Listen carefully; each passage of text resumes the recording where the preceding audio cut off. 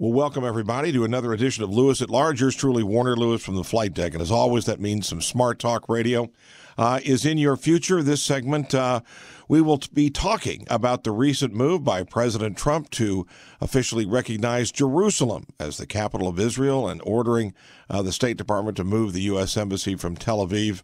Our guest is John Quigley, a professor emeritus of international law at Ohio State University. He is also the author of numerous books, including The State of Palestine, International Law in the Middle East Conflict.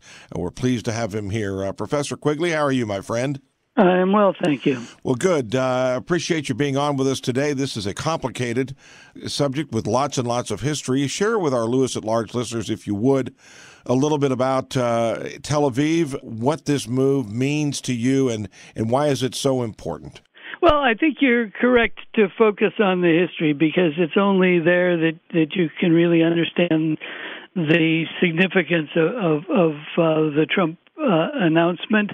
Um, when different countries began to establish uh, diplomatic relations with Israel in the early 1950s, uh, they put their embassies in Tel Aviv, which was at the time the main administrative center for the Israeli government. Um, uh, I mean, it, the Israeli government was not using Jerusalem as its administrative hub uh, because the the international community, as as uh, you know, one saw at the United Nations, was trying to come up with some solution for Jerusalem. Uh, the idea was that there would have been a separate status for Jerusalem, that it wouldn't have been part of a Palestine state, it wouldn't have been part of, of an Israel state. Um, uh, so there there was uh, uh the the administrative apparatus of Israel functioning out of Tel Aviv instead. Uh, so the different countries that established relations with Israel put their embassies there. Um, and that's basically the way it's remained until the present time. The United States in Jerusalem has what's called a consulate general, uh, which deals with with uh, uh, not with diplomatic matters, but with consular matters like issuing uh, visas. Uh, but it is not considered to be part of the United States diplomatic apparatus in Israel. It is completely separate. It reports directly to Washington. It doesn't report to the U.S. Embassy in Tel Aviv.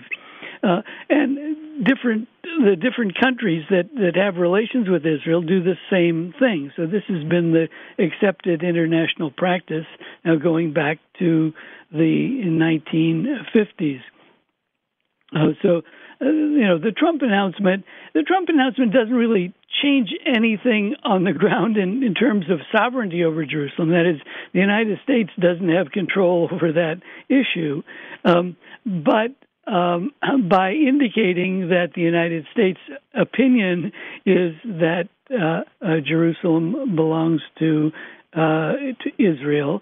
Uh, you know that is. Uh, in indicating that the United States is going to be taking that position, and the United States, of course, has played a major role in trying to facilitate negotiations. Uh, uh, so that that's why it it's so important. Um, but but the, the history, as, as you've suggested, is really key to understanding this. Uh, and as I say, it goes back to the late 1940s and 1950s when it was understood that if you put Jerusalem under Israel, that would would make it impossible to come to any kind of accommodation uh, with the Palestinians, uh, and and that really remains the view um, uh, at the present time. The the view at the present time is that this needs to be resolved by a negotiation, uh, so that. Uh, as a legal matter, the status of Jerusalem is regarded as being unresolved. That is, uh, it is not part of uh, of any state. And that applies not only to the eastern part of Jerusalem that was taken by Israel in 1967, but also to the western part of Jerusalem, which was taken by Israel in 1948. Well, uh, as as you can imagine, this move, of course, uh, was a little bit of a fire starter move. Share with our Lewis at Large listeners, if you would, Professor Quigley, who is reacting to this positively, who is reacting negatively in the in the international community, and why. The positive reaction comes from uh, Prime Minister Netanyahu of Israel uh, and by other Israeli political figures.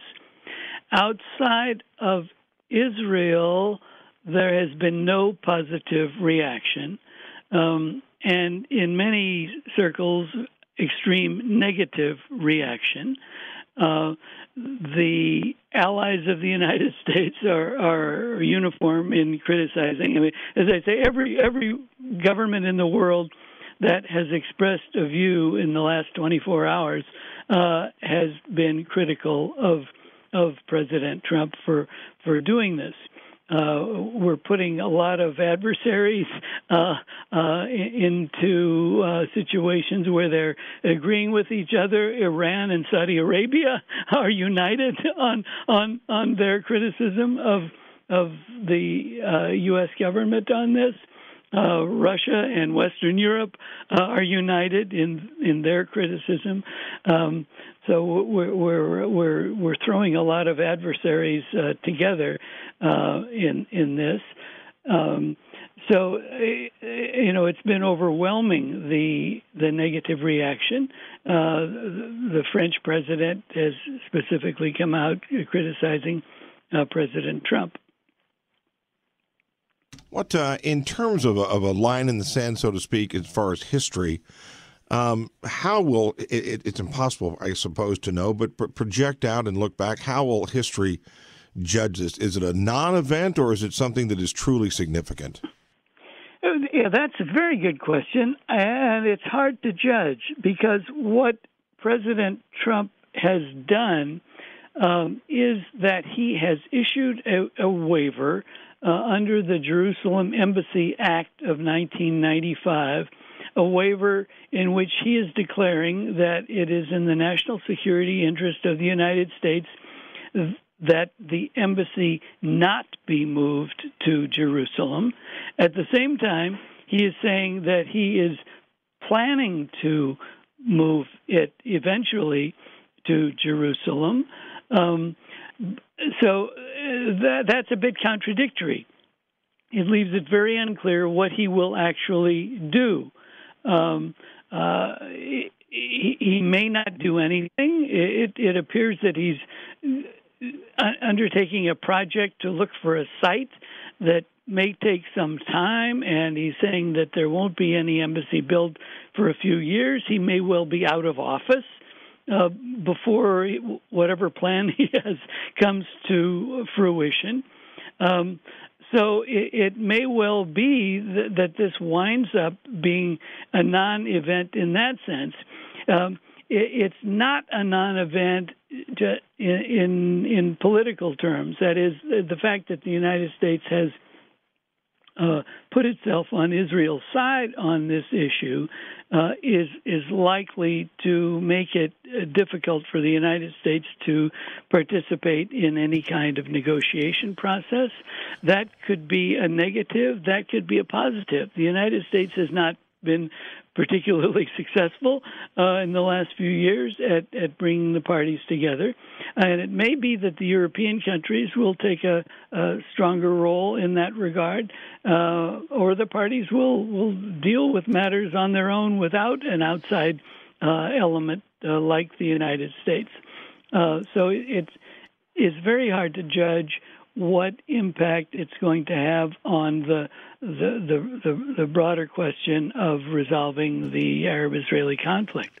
If you just joined us, yours truly, Warner Lewis from the flight deck of Lewis at Large Radio. And this segment got a good one going here with Professor John Quigley. He is Professor Emeritus of International Law at Ohio State University, uh, quite a prolific author on books about the Middle East, including The Statehood of Palestine, International Law, and the Middle East Conflict. Uh, Professor, uh, what about this? Again, as we look at this recent move by President uh, Trump to officially recognize Jerusalem as the capital of Israel, was this a move that was predictable? And if it was, didn't hear much about it recently, and was it a surprise at all? Well, President Trump did raise this issue during the campaign. So to that extent, it's it's not a, a surprise. Uh, he gave a speech for, at the American Israel Political Action uh, Committee during the uh, campaign. That's the main is pro-Israel lobby in the United States and he was interested in, in getting their support in the election. Uh, so he made a speech to them in which he said that he was going to move the embassy to uh, Jerusalem. Um, uh, from what is known about the the White House on this, the uh, Secretary of Defense, the Secretary of State, uh, are both against what President Trump is doing. They think it is a mistake. Uh, so it's uh, uh, more his his you might call his political advisors, the ones who uh, who who think this will help him politically, uh, who think that this was a, an appropriate move. What, in your opinion, again is in again the long-lasting effect of this? Again, I know it's hard to predict the future, but again, I sort of go back to what we were talking about earlier. Is it ultimately a non-event that people kind of get their feathers rattled right now and then they forget about it, or is this something that will be sort of a, a thorn in, in an international relations side? Mm-hmm.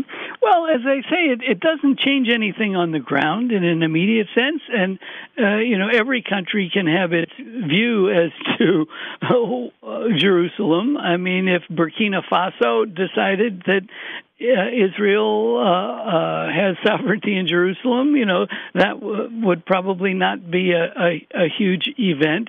Uh, the only reason it has significance is that the United States is an important uh, player in the situation. Um, but uh, it's it's being rejected very strongly by the rest of the world, which in a way supports the the, the Palestinian view of it. The fact that, that that nobody will go along with with what President uh, Trump uh, is is saying. I mean, the the eastern part of the city was taken by Israel through aggression in 1967. The western part was taken by Israel in 1948 in, in violation of, of what the the United Nations w- was indicating should happen, um, and as a result of taking each side of the city in those two years, the Israeli government has forcibly moved people out. It has engaged in ethnic cleansing of both sides of Jerusalem. Um, so to you know say that Israel has sovereignty over it uh, is in effect to reward ethnic cleansing.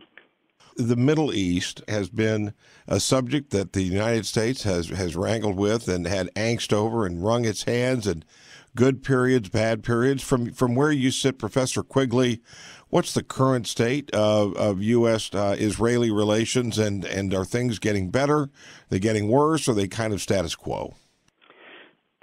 Well, uh, that that's an interesting issue.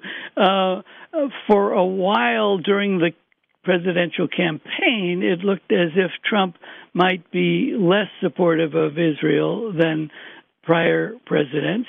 Uh, that took a turn, I think, during the campaign, before the end of the campaign. Uh, for one thing, uh, Trump began getting substantial contributions from Sheldon Adelson, who is a, a, a very wealthy American uh, who is very supportive of Israel and was pushing Trump in the direction of, of being more pro Israel. Uh, and since the election, uh, President Trump has been rather soft on Israel with regard to its building of illegal settlements in, in the West Bank, including in East Jerusalem. Um, uh, so, in a way, you, you have an administration now that seems to be more supportive of of Israel than before. Um, although some would say it's more supportive of, of kind of what you might call an extremist uh, element in Israel. Uh, that is the element that, that supports the idea of taking over Palestinian territory and not giving much to to the Palestinians. Whether that's in the long term interest of Israel is is uh, an interesting question. I mean, it may well be negative for Israel in the long term that that Trump is taking uh, this this kind of position. Uh, because it, it makes it more difficult to have an accommodation that could result in in long term security for Israel. Well, professor, as we begin to wind down here, uh, what do you see as the future of that that area? Again, are you hopeful? Uh, are you pessimistic? Uh, uh what should we be thinking and watching for in the future uh, in the Middle East? I think we should be watching for comes into the picture to try to facilitate this uh, accommodation that needs to be made between Palestine and Israel. Uh, it would be helpful, I think. European countries can um, take up the slack, as it were, if the United States is bowing out uh, of the situation. I think the European countries have a better understanding of the history of the conflict. Um, uh, and are more likely to facilitate an acceptable solution that would involve some redress for the ethnic cleansing that Israel engaged in in 1948, uh, and would would lead to a uh, an accommodation in regard to Jerusalem and in regard to Israel's settlements. Well, we very much appreciate uh, your insights and your thoughts today. This is a complicated issue, and uh, very much appreciate uh, some of the perspective you could give. How can people find out a little bit more about some of the work uh, uh, and the writings that you've done about the Middle East? Well, I, I think my books are uh, available through you know Amazon and an internet search, and they're they're in libraries around the country as well. Again, that is Professor John Quigley. He is a professor emeritus of international law at Ohio State University. Thank you again so much, and we would love to have you back on again uh, to hear some more perspective. Thank you. You bet. We will be back with more right after this on Lewis.